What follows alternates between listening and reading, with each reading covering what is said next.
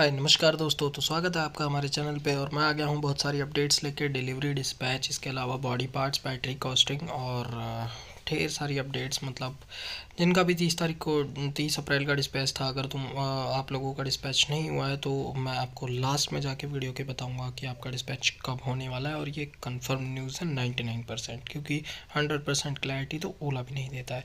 सो है दोस्तों शुरू करते हैं।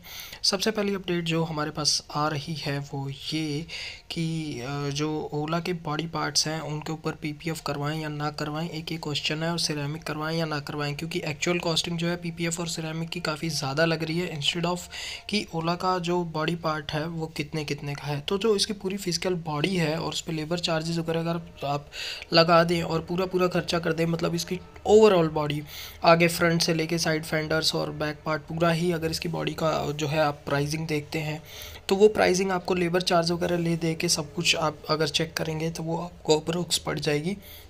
नौ से साढ़े नौ हज़ार में। मतलब अगर आपकी, आपका स्कूटर कहीं गिर जाता है और कहीं छोटे मोटे स्क्रैचेज या क्रैक्स आ जाते हैं if you want to change आप बदलना चाहते हैं उस पार्ट को तो बहुत ही शॉर्ट कॉस्टिंग है, बहुत ज़्यादा कोई कॉस्टिंग नहीं है और ये जो इसकी बॉडी है, वो नौ से साढ़े नौ हज़ार के अंदर विथ लेबर चार्ज जीएसटी सब कुछ लेके आपको नहीं मिल जाएगी।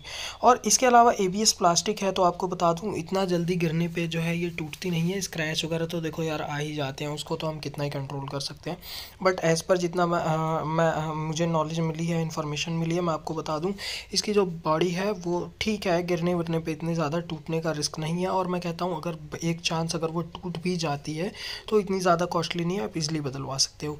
एक और बात इसका स्टैंड जो है इसका स्टैंड है अप्रॉक्स साढ़े तीन सौ से लेकर चार सौ रुपये का। जी हाँ इकनॉमिक है मतलब नॉर्मल स्टैंड जो बाइक के होते हैं जो पेट्रोल बाइक्स के आते हैं वो तकरीबन डेढ़ सौ से दो सौ के बीच में आते हैं। तो ये जो है प्लास्टिक है थोड़ा स्टाइलिश है तो ऑब्वियस सी बात है साढ़े तीन सौ से लेके साढ़े साढ़े तीन सौ से लेके चार सौ के बीच में मोस्ट अप्रोक्सली तीन सौ छियानवे रुपये इसका प्राइस है।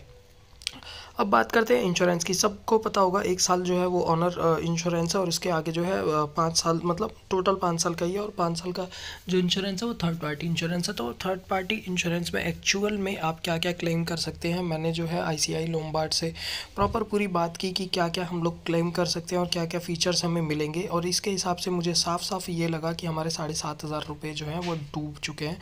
इससे बेटर ये होता कि हम जो है एक एक साल का ऑनर ज़ीरो डेप्थ लेते और कोई भी इशू नहीं आता। अब हालाँकि जो भी प्रोसीजर्स हैं वो फॉलो तो करने ही पड़ेंगे।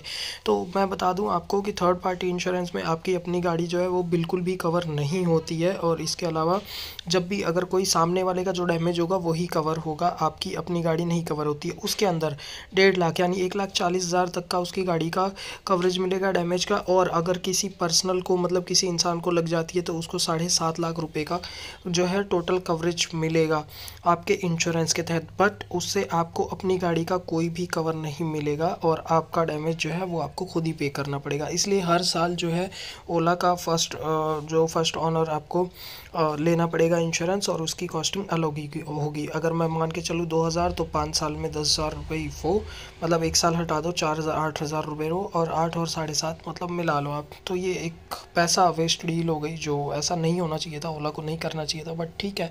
अब जो प्रोसीजर्स है उसको फॉलो तो करना ही पड़ेगा। हालाँकि जैसा भी है बट इंश्योरेंस जो है वो बहुत इंपॉर्टेंट है।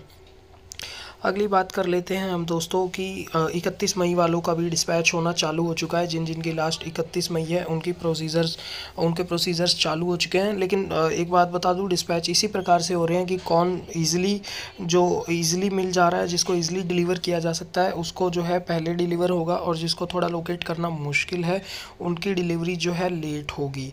जी हाँ। अब नेक्स्ट न्यूज़ ये है कि जो थर्टी अप्रैल वालों का जिनका भी रह गया था डिस्पैच उनका इस वीक के लास्ट तक जो है डिस्पैच हो जाएगा और ये 99 परसेंट जो है कंफर्म अगर सभी चीज़ें ठीक है तो अगर हार्ड एंड फास्ट कोई चीज़ फंस रही है, तभी जाके उनका डिस्पैच रुक सकता है, वरना उनका डिस्पैच हो जाएगा। एक खुशखबरी ये है कि आज मेरा स्कूटर कल डिस्पैच हो गया था और आज जो है वाहन ओ भी क्लियर हो गया। सो साढ़े आठ, पौने नौ हज़ार रुपये कुछ लगे हैं रजिस्ट्रेशन में, जो कि बिल्कुल भी मुझे समझ नहीं आया। खैर, अब भाई इंडियन गवर्नमेंट जो भी चलान करेगी, वो तो पे करना ही पड़ेगा। तो पौने नौ हज़ार रुपये जो है है, उसका मैसेज आ गया है। इंश्योरेंस भी मेरा जनरेट हो गया है। अब अगला जो है फ़िज़िकल सिग्नेचर्स वगैरह ये लोग लेंगे, कब लेंगे? सो होपफुली देखते हैं कब लेंगे और क्या करेंगे। तब तक के लिए बने रहिए stay tune to our channel और बहुत सारी अपडेट्स के साथ हम मिलेंगे। एक और अपडेट मैं मिस कर रहा था move OS two point zero जो है, वो अभी सौ लोगों को ही मिलेगा बीटा वर्जन में। तो मिलते हैं।